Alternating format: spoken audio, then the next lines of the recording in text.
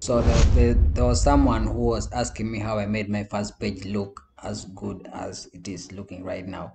So uh, in this video, I'm going to be showing how I made my first page to look like this. But before we do that, there are five simple rules that I use, my own rules that I use to make my first page look like this. And they are not to be ignored if you want your first page to look good. Now, the first rule is that you need to your title doesn't have to be very long. Your title doesn't have to be very long. Some of you have very long titles. For example me i have the brain boosting diet. I can add cookbook to it. It's fine. Your title should not exceed six words. If your title exceeds six words they become too many and they, they mess up even your your title page. One two three four. These are four words. Yes? Four words are okay for the title. Then the subtitle is should also not be too long. The title is short, the subtitle is short and can bring out the point. So as long as the title subtitle can bring out the point, it's okay. If you don't need to put too many keywords in your stuffing your your subtitle with keywords, eh? Those keywords you'll put them in the seven backend keywords. You you leave them for the seven backend keywords. Just make sure your subtitle makes sense. Make your title to make sense, your subtitle to explain your title and it let them make sense yes that, that is the first rule i always use for for making my first page look good. So you make sure your title is short not more than seven words not more than seven words. If you put your title more than seven words it becomes crowded. Now the second thing i do is use the correct font yes? You have to use the correct font. You need to use the correct font. Some of you choose wrong fonts and then your your your title page will look weird if you choose the wrong font now me the font i use here as you can see this is the font that i'm using. It's called cooper black. As you can see the name is here cooper black. It is the, the font i like using. I use this font all all all the time and because it is rounded and good it looks good. The font actually 90 percent of the of good look if you want your book to look good you need to collect select the correct font even for the whole book itself. As long as you choose the correct font your book will look good eh? and appealing. If you choose the wrong font you're finished so that is number two. And then number three is on your first page use the same font. Don't don't try to mix mix fonts. You're wasting resources. Use the same font. For example here i've used cooper black. Yes? And even for the subtitle i use the same font cooper black as you can see up here. Cooper black. Just reduce the size. Then on the name also i use the same font cooper black. Cooper black? Yeah so I use the same font on the first page. That is rule number three of my book font page making. Fourth rule is to add a page border. Yes, see this page border. add the page border. That is the fourth thing you can do is to add the page border. Page border will make it look good. I'm going to show you how you can do all this in a few minutes. Then the, the fifth rule is to manipulate the image. You make sure you manipulate this image to look good. I'm going to show you all this in this video. So without wasting time let's begin and i show you how you can do it step by step. So as you can see i have a blank first page. Yes i have a blank first page. So i have to start from scratch. So to start from scratch i i have to get my title which should be very short. Yes my short title was what? Let me check it again.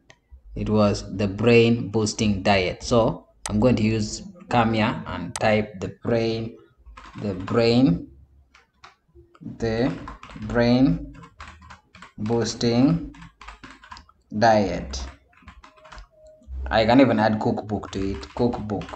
As long as there are five words less than six words. These are one two three four five. These are five words. That is okay. So since uh, i've typed the brain cooking boosting diet cookbook now i can change the font. Yes? So highlight it uh, go to home. After going to home now you can click here and change the font to the one you want yes? As i said may i always use cooper black because it's good it's a good font for me. So i'll choose my cooper black. After that then you increase uh, you first bold it bold it yes make it bold and then increase increase the what? Increase the size. So you come here to this increase font size. As you can see the good thing with microsoft word even tells you what to do. For example you see as as soon as i hover on this button it is telling me that increase font size. Yes? So i'll just click on it to increase the font size. Increase the font size until it reaches a point where the part which I like. Uh, I think that one is good enough. That is good enough. The brain boosting diet it looks good now change the color. So I come here to the colors. As you can see it's even saying font color. My, Microsoft Word tells you what to do. It says font color. So I click here and I change the font color to red. Yes? As you can see now I have the, the thing is called the brain boosting diet cookbook. That is my book title. Yes? Short brief and direct to the point. Now as you can see uh, there's something not right about this this book title. Is because you can see that there's a gap in between this book title. There's a gap this gap and this gap. I don't like the, like it when they have this gap so i want to reduce the gap. So in order to reduce this gap i just highlight i have to highlight it and then i click control one control one. I'm leaving it on the screen you can see it. A short keyboard shortcut control one control one. As you can see when i click control one it reduced it and fixed the gap now you see the thing how it looks. The brain boosting diet cookbook. It looks better like that. More squeezed and more organized. So that is the title of the book. Now i need the subtitle. The subtitle what was the subtitle? Let me get it. It's here the 20 delicious recipes for enhancing cognitive function and preventing dementia. So i'll copy this and come and paste this subtitle here. So i paste the subtitle here the way it is as you can see that this is a subtitle i've pasted it here so i can highlight it and change the font. Yes highlight it and come to home check font. As i've told you me i'm using cooper black for everything. Once i use cooper black for the title even subtitle has to accept cooper black whether it likes it or not. So cooper black. As you can see this is how it looks. Just uh, click here and center it. Make sure it is centered. Center aligned even this one make sure it is center aligned so i have now now i have the title and the subtitle. Now the third thing to do is to add the the name. Yes? So i keep everything in the same font. So the name is here on my copyright page. Is called kim read so i copy this kim read come this side copy it and paste it here. Paste kim read so Kim Read and I make sure it is in the same font. So change it to Cooper Black home uh, font and go to Cooper Black. So as you can see now I have a name Kim Read so I move the name down move it a bit down and then I have to bring an image in the middle here. So to bring an image all I have to do is first come to home here. Yes come to insert. From inside I, I, I get a shape. So I get a rectangle shape. As you can see this is the rectangle which i want. So i click on it. Then i come here and i put a rectangle. Yes put a rectangle put a rectangle and see. So this rectangle can easily be manipulated the way i want. So i manipulate it until i, I think it looks good. Manipulate the rectangle until it, it looks good.